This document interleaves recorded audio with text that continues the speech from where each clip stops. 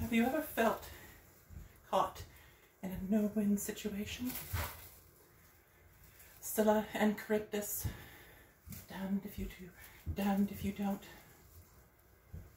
A situation where no meritorious or moral solution is possible. One where you are forced on one side, even if you don't fully agree with what that side stands for. In a short, have you ever felt trapped? This is a phenomenon, or perhaps more accurately, a strategy, a tactic that I have dubbed the Great Spider's Web.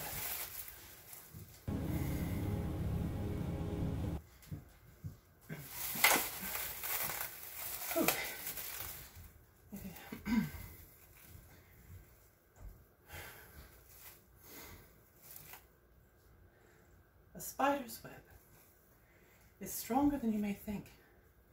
It is actually stronger than steel. It is adhesive, it has great tensile strength and flexibility, but it is inescapable when it is woven.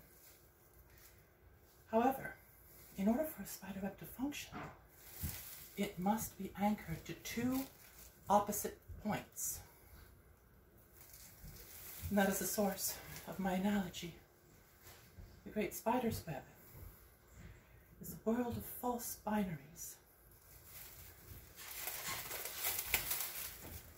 Uh, one such may be found in politics itself, in democratic nations such as the United States, where you have the left wing versus the right wing. They're not polar opposites. Indeed, if, for example, the American eagle is banking left, the right wing is definitely coming with it.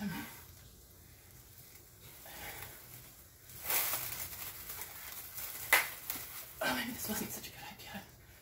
I can't break loose. Well, anyway, um, the Great Spider's Web ensures that neither political or social, essentially man-made binary is perfect.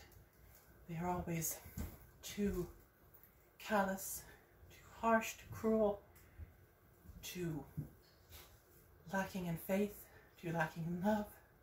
And indeed, the argument as to which side has it is one that is difficult to win when, for example, the right is forced to adopt attitudes that are not terribly Christian, and thus they are, are called Christofascists.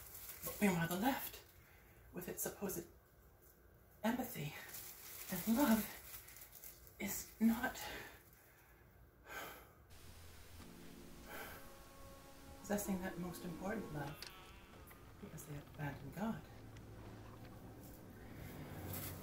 As a programming technique, the Great Spider's Web utilizes various psychological elements, top grade, and most significant and noteworthy to give up something, and especially to give up hope. I think I can.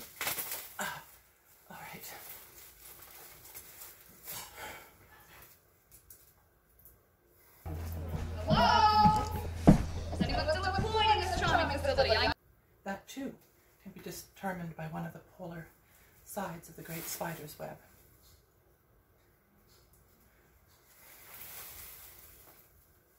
You'd you like me to bang away on the dock, is that it? This is new.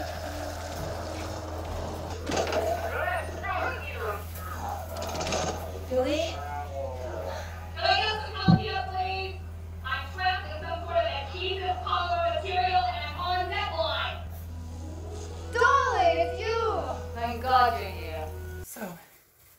Great spider has woven such an inescapable web, how do we get out?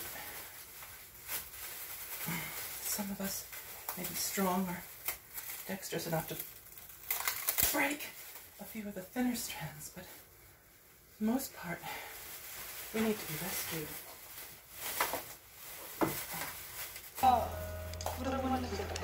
of woman spider's web is deep and multi-layered.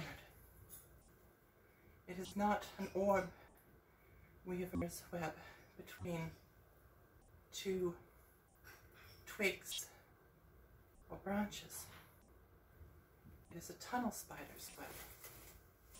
Something that is thicker the more extreme the edge you go to.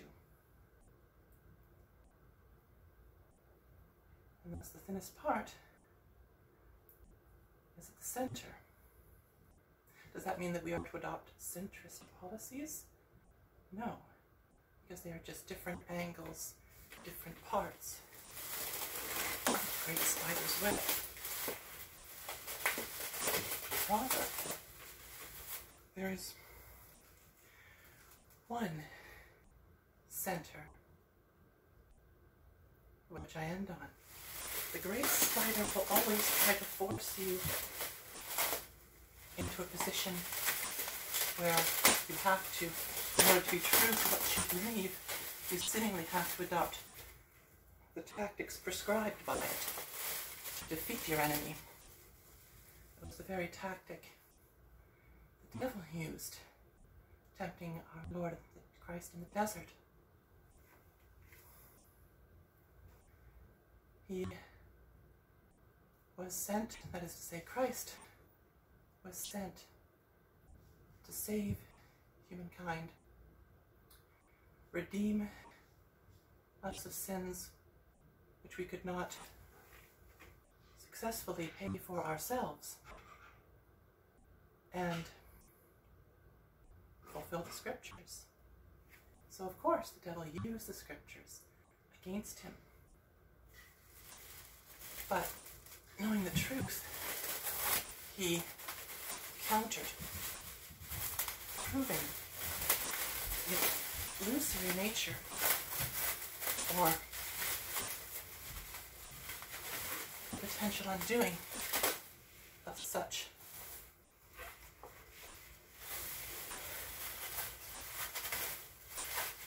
venomous techniques. And it is appropriate I end with something representing or referencing Christianity. Because that's what this really is all about. Mark my words. When you have Christ, you have a center. When you adopt the established doctrines of the church and do not permit them to be changed by corrupt officials or even my own work when I was less wise before I started this series. You'll have your center, and you will be able to do something that most in the great spider's web cannot. See the light the.